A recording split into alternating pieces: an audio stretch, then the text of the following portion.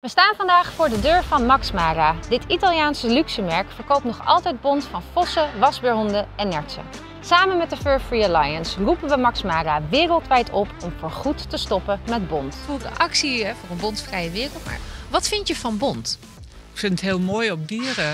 It's not a necessary way to clothe people. There's other options that are much more sustainable and cruelty free. Helemaal fout. Nee, de bond is voor de dieren, zeggen ze toch altijd. En dat, eh, daar ben ik het helemaal mee eens. Ik bedoel, eh, het is, het is onnodig om, om dieren daarvoor te laten lijden. En ja, het, het is gewoon niet goed. Wat vind je dan van het feit dat er nog merken zijn, luxe merken, die nog altijd bont verkopen?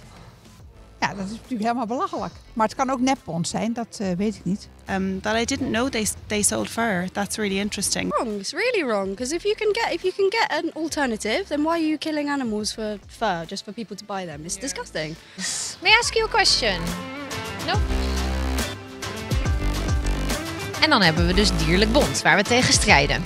Heb je een boodschap voor Max Mara dat nog bont verkoopt? Ik heb een boodschap voor alle klanten van Max Mara. Die moeten gewoon die bontjassen niet meer kopen. Dan blijven ze hangen en dan eh, gaan ze er vanzelf mee ophouden.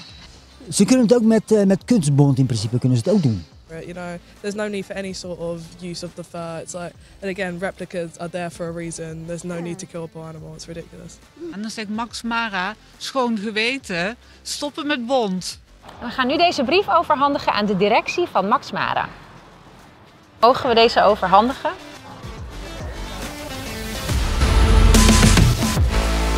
Dan gaat deze op de post.